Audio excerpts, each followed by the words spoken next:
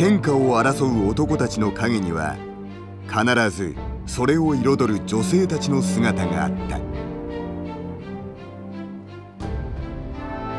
連環の刑で董卓と呂布を翻弄した朝鮮二教こと大教小教孫流同盟の要となった孫将校曹操を惑わせた数子。郷土に連れ去られた西条蔡園。